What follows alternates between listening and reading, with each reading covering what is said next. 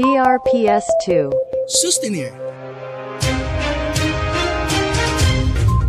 5,000 financial assistance ang ibinibigay ng city government sa mga sorsoganon na nanganak, nagpakasal at nawalan ng mga mahal sa buhay.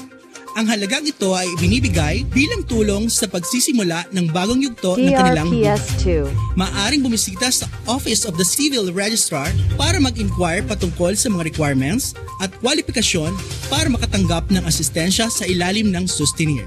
Bukas ang kanilang opisina mula lunes hanggang sa araw ng biyernes. Ang Sustenir ay hatid sa inyo ng City Government of Sorsogon, ISO certified. DRPS2